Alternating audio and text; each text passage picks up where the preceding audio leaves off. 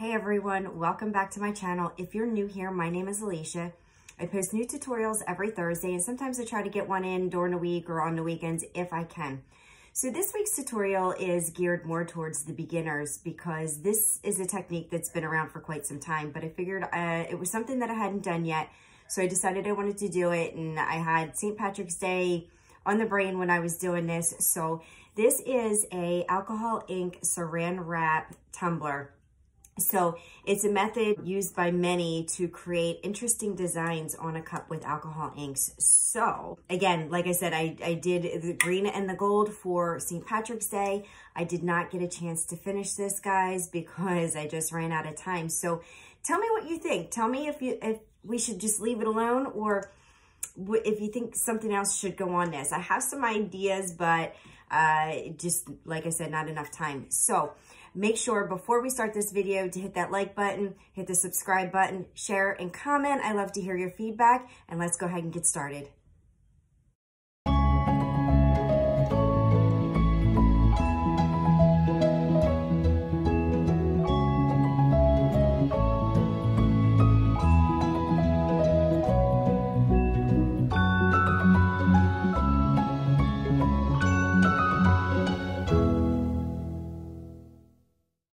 Right, so I always start by sanding and spray painting my cup. If you're not sure how to prep a cup and you want more detailed instructions, I do have a video on that. So I realized that I am using a different cup uh, to show you how I am applying the glitter using the tack it method, using Aleene's tack it over and over mixed with a squirt of water it's because I deleted the video using the real cup, but since I've recently done a cup with Tack It, I figured I would show you how I apply this.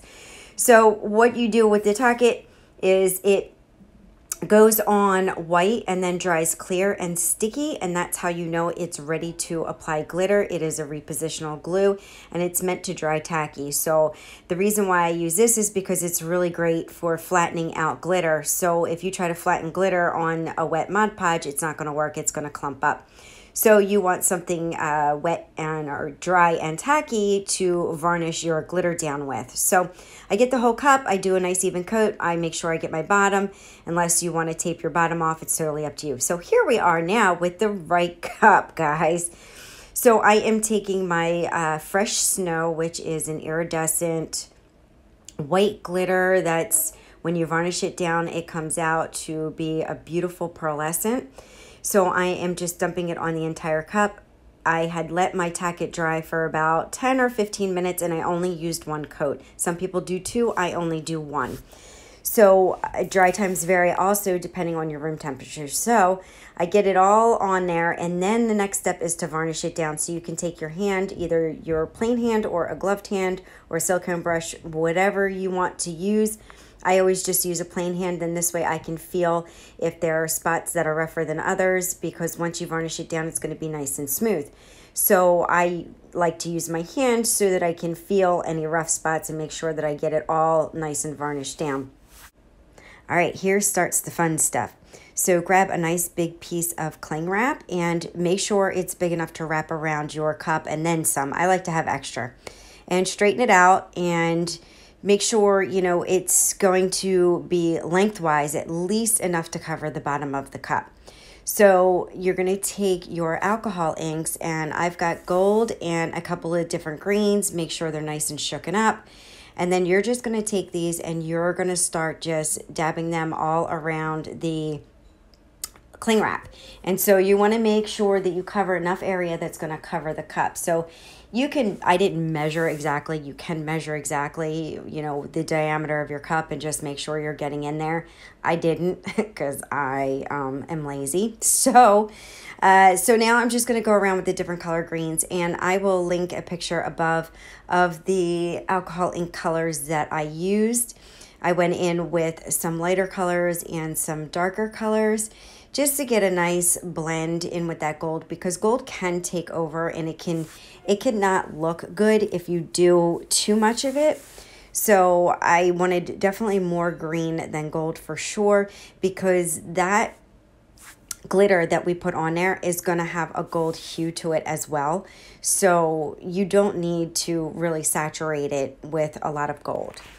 So once I am happy with that, and there I go, we're going to wrap it around that way, pull back the blank spots, and then wrap it the other way and I just want to make sure that the entire cup is covered. So if there's, you know, a little bit of ink that you miss, like, so see, I didn't, I didn't measure because I was lazy and guess what happened? It wasn't long enough. So now I'm just putting some more on there. It's okay, guys. It's not a big deal because this is al alcohol ink and, you know, this is the kind of, thing that you're going to do this kind of technique where it's going to be all kind of crazy and wonky anyway. There's nothing really uh, consistent about this. So it's it's totally okay. So you're just going to pat it all around. You want to make sure that there are creases in there because that's what's going to give you your patterns and your lines. So I didn't get enough to do the bottom. So I'm you know and there were some spots that I wasn't happy with. So I'm gonna tuck that cling wrap in the top and then I'm to get some spots that I thought I missed and I'm to kind of squish them in there and then I'm to do the same with the bottom. I'm to just put the alcohol ink on the bottom and mix it all around. And once I'm done with that, I'm to just smush the cling wrap on it. Then I'm going to sit the cup upright and let it dry for 24 hours with that cling wrap wrapped around it. I will check it in the morning after about 10 hours or so to see what it looks like, but I'm not going to unravel it for about a good 24 hours. Some alcohol ink leaked onto my table, so I'm just going to clean this up with 91% alcohol. Nice and easy peasy. Guys, so this has been sitting overnight. It's probably been about 12 hours or so, and you can see it's still pretty wet, so I don't want to mess with it. So I'm to leave it go and check on it again tonight to uh, to see what it looks like. All right, guys, so it's been probably 16 hours since I poured this. So how I test to see if it's ready is I just, listen. If you hear that, pretty dry and ready to be peeled off. So make sure you wear a glove in case uh, there's some that is still wet and there's like wet residue on your saran wrap. Get this in focus.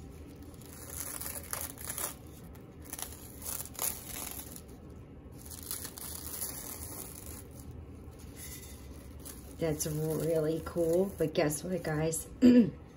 so, because alcohol lifts things, it lifted the glitter underneath. So there was tack it and then I applied the glitter. So you know what?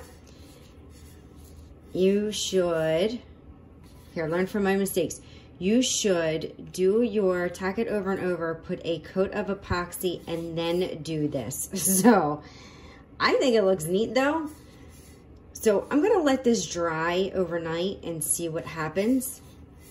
Uh, I don't think that it's ruined but it's definitely taken away from the effect. So um, here's the bottom. So again, you know, um, I made mistakes and I still, this is like super cool though. I don't know, guys, what do you think? All right, so let's let this dry more. I'm gonna let this dry overnight and then uh, I'm gonna come back to it and see see what it looks like and see if, it, if I can salvage it. All right, guys, so it's been like 36 hours since I've been able to get to this cup, and it is completely dry. And so the spots where I thought were going to be ruined, it's not. It dried and it attached itself to the cup, and it's hardly even noticeable. Like it was bubbling before, so I think this cup is safe. So I'm, I won't do that again, but I didn't ruin the cup. So just know that, um, yeah, definitely epoxy after you do your glitter layer and then do your alcohol ink with your saran wrap. So you know what I'm to do is I'm to put a coat of epoxy on this. And I, you know, honestly, I don't know what else to do with this cup.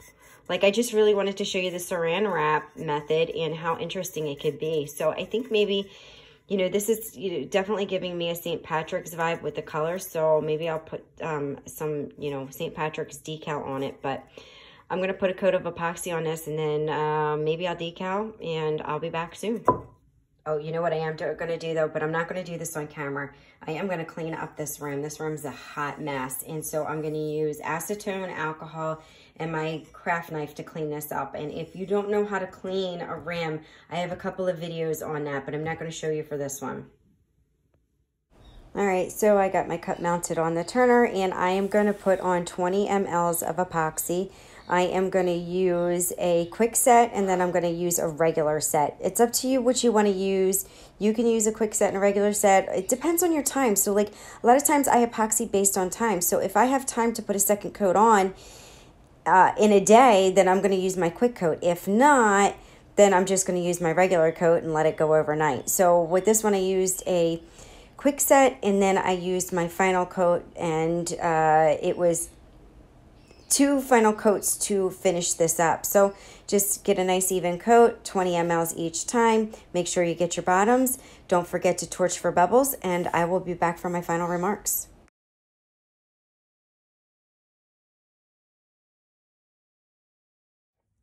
All right, so this cup is done and I really like the way this looks. I, I just love doing the saran wrap method. It just, it's so interesting and different every time depending on the colors that you use. So I really do want to put something else on this. Uh, and like I said in my intro, go ahead and make a comment below. Do you think I should just leave it or do you think maybe I should put something else on it? I do want to hear your feedback. So, uh, you know, and let me know what you think of this technique if you're new. So this is it for this week's tutorial, guys. Uh, thank you all for watching. Again, hit that subscribe button, and I will see you all next time. Bye.